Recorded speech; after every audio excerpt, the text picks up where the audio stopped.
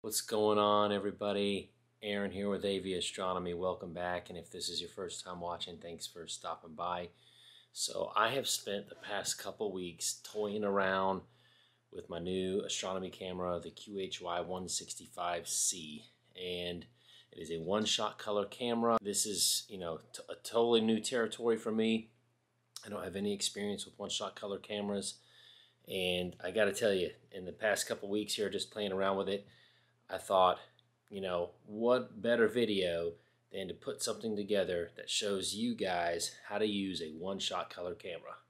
There are some similarities if you've used a DSLR before, but there are some notable differences that you will beat your head against the wall on if you didn't know how to approach it or how to solve it. So uh, with that, I'm going to show you guys how to use a one-shot color camera.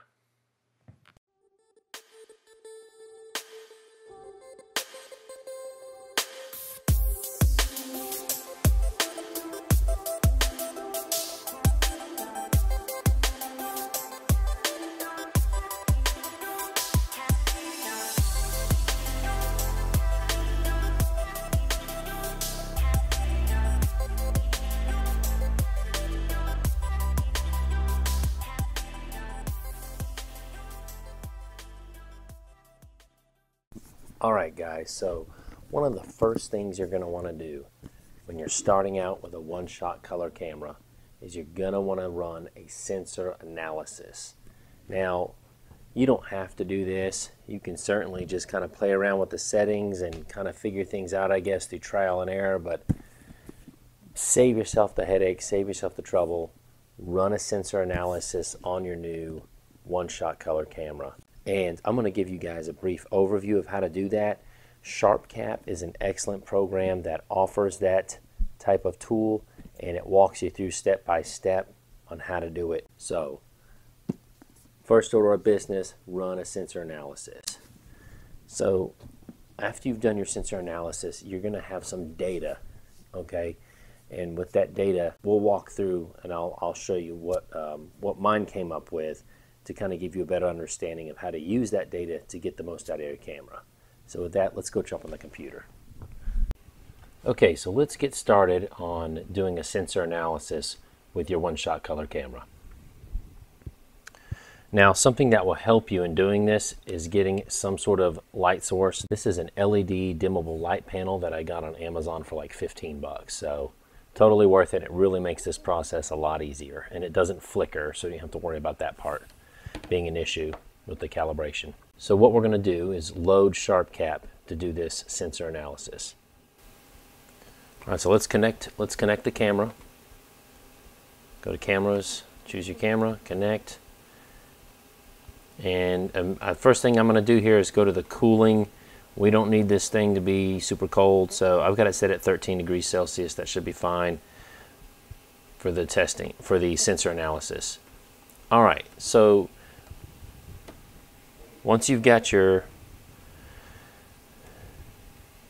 so what you'll do just like when you're imaging you'll hook up your one-shot color camera to your laptop to your laptop okay? And you will follow the prompts here on the sensor analysis. You go to tools sensor analysis and it will tell you what you need there. Constant illumination source, low light levels. Let's, let's try this out. Let's go ahead and get this on here. I'm just going to take the cap off of, I'm just going to take the cap off of my camera, get this on the light pad. All right, and then you hit start. Real simple here. It kind of walks you through it.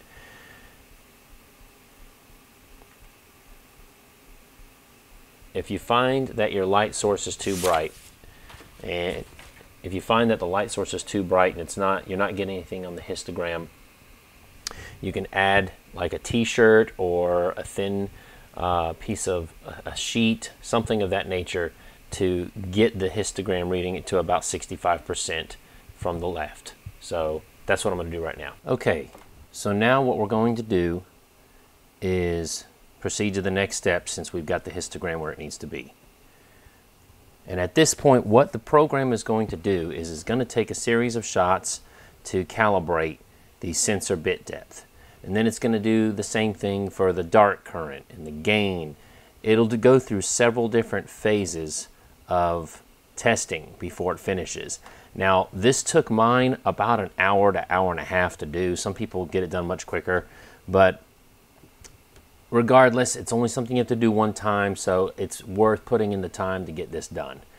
So I'm going to let this thing run, and there's really not a whole lot. You just follow the prompts of what it tells you to do. At some point, it'll tell you to take the camera off the light source, put the cap back on so it can do the dark current uh, testing, and then it'll tell you to take it back off for the final step. And then when it's done, you'll get a nice printout with the results. So let's take a look at those.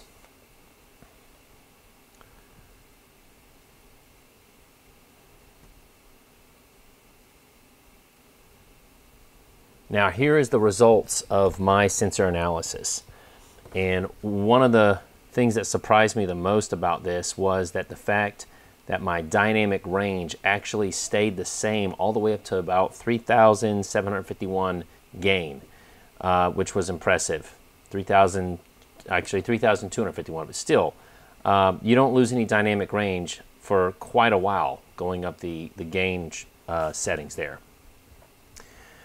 Now, generally what people try and shoot for is 1E ADU, and mine is right around 3,751. However, that comes at the cost of dropping your full well down to 4298. And if you're not sure what that is, that essentially is, you know, visualized like a bucket collecting photons of light. Well, as that bucket fills up, it gets to a point where it cannot collect anymore and it just, it'll essentially blow out or clip that data that's coming in.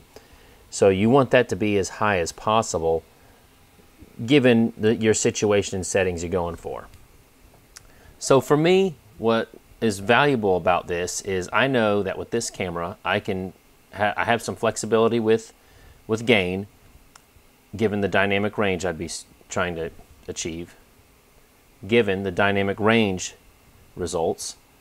But I also, you know, I want noise, the read noise to be relatively low, but I want to have a good full well value. So I started with a thousand gain and the other part to this that was the most nebulous, confusing part was offset. There's no there's nothing in the instruction manual on the company website, anything that talks about what offset value you should use for your camera with a given gain setting. And there's really not a whole lot of info online about this. So fortunately, I was able to come across a website, which I'll link in the description below, that does a pretty good job of explaining offset and how that relates to gain and why that's important. So that's what we're going to talk about next here. Before I do that, study your, your sensor analysis. Uh, and really all you need to know is gain is kind of like ISO. The higher the gain, just like with ISO on a DSLR, the more, uh, not sensitivity, but the brighter, essentially, it amplifies the results of the image. It doesn't increase the sensitivity per se.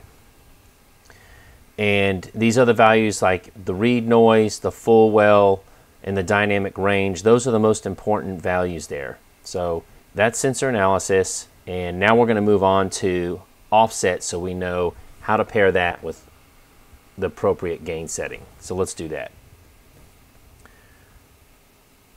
So we're going to go back into SharpCap. And if you go to Tools, and histogram and take your exposure all let's see here we got to go back up you want your exposure all the way down to the shortest exposure possible for this okay and what you're looking for you'll see here you're looking for this peak of data and the distance it is from the left you want it as far left as it can go without clipping the data. And it is okay to leave some space here. It doesn't really specify in that article how much, but generally you want this to the left. So you just go through your gain settings. And right now it's at a gain of it's at a gain of one and an offset of and an offset of 200, which is probably a bit much for a gain of one. So let's bring that back to 100. There we go. That's closer. and you still got a little bit of space there between the left side of the histogram and that peak. But let's say you wanted to do, you know, a gain of 2,000. As you can see there, your offset value is okay, but you may want to pull it, pulled it over to the left some more. Bump that up to about 200. And this is something you can kind of play with, but at least it prevents you from having no idea uh, because the offset can go all the way up to 2047 on my camera, which is obviously way too far from the left, and you'd end up clipping data. So we, you know, even with the gain of 2000 and offset of, you know, something between 200, 192, that looks pretty good there. So what I did is I made a little cheat sheet that had different gain values and offset values that paired with the gain value according to what we're trying to achieve here. So I hope that makes sense. It certainly helped me out and gave me at least a good starting point with gain and offset settings when imaging. So now that we've done this, let's go take a look at actually pulling up this camera in APT and running through a couple of things that may stump, stump you a little bit, but it's really not that bad. So let's do that next. All right. So you'll go to connect camera. The first time you do this, it's automatically connecting, but the first time you're going to have to specify that you're choosing a CMOS or one-shot color. It's in there as an option. And then you'll connect. You'll set your cooling temp. Okay, so now that you've got your camera down to cooling temp, we're going to look at focusing. And if you go to the tab here, drop down box, you'll see there's a test focusing tab. So what this does is it helps you set up a series of shots that help you focus. You know, typically you would use a live view with a DSLR, which I know is nicer, but this really isn't that much of a difference, but it is something worth noting. So once you start these series of shots, you'll adjust focus as needed until you get it kind of close, then throw on that Bahtinov mask and get it refined so you got a nice sharp image. Now, once you've done that, it's pretty much business as usual. You'll, you know, at this point you will have polar aligned your mount and done your plate solving. I've got a video on that if you're not sure how to do that on how to plate solve using APT, but it's it works the same way. You'll take a picture in APT. You can even use, I've even used the photos from the test focusing. It works really well. That's one thing I've noticed between the DSLR and my one-shot color camera is APT's the, uh, the PointCraft tool, which is right here for plate solving, sorry, which is right here for plate solving, is far more accurate and a lot quicker with the one-shot color camera. I'm not sure why, but it's made life a lot easier. So on that note, it's it's been a vast improvement. So aside from that, it's it's pretty much business as usual. Um, set your imaging plan just as you would normally in APT, and you know you go to edit and change the values accordingly. And that's really about it as far as getting your sensor analysis done so you know what settings to use, how to hook it up to your laptop, how to connect it with APT, get it cooled, get it focused, and you're ready to go. So that about wraps up the tutorial on how to set up and use your one-shot color camera. If you have questions, further questions about this process, let me know. Shoot them in the comments. I'll do the best I can to answer those for you. Also, if you want more detail on plate solving. I do have a tutorial and I'll put a link in the description so you can go to that. Guys, also want to thank you as always for watching and if you are interested in any of the gear that I use or recommend, I've got some links down below to OPT telescopes. Excellent resource for all of your telescope and imaging needs and I'll put those in the description below. Guys, if you found the video helpful, useful, you got something out of it, and I hope I hope you did. I hope it makes your uh, life a little bit easier when setting up your one-shot color camera for the first time. Give me a thumbs up, like, subscribe, and guys, as always, thank you for watching. Keep on looking up, keep on seeking. God bless, and until next time, clear skies. Happy Thanksgiving.